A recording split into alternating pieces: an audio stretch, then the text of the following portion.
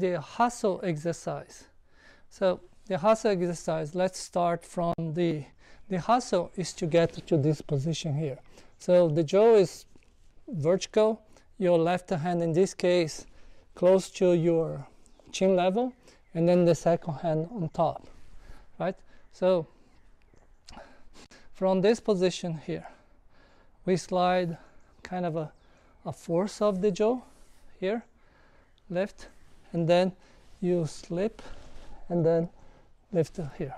So in front, front position will be quarter, change, and then let it go, and then slip. So sometimes you can push, okay? Push, and then let it go up. So I'm doing this kind of movement. Here, here, moving a third, a quarter, here, then going here, and then holding vertical. And then this hand at the chin level, at this level, and this hand still maintain. I didn't change the hand yet.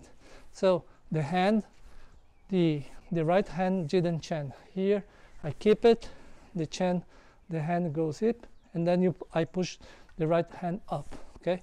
Important thing is when you're doing this movement, push your hand, right hand up so the this jo come this level here, the, the other tip to the chin level, okay? So again, here, on the side, a quarter, and then pushing, lift your hand up, and then here, okay? From here, side, slide, push, and then here. So this is the Hasso uh, position or Hasso exercise.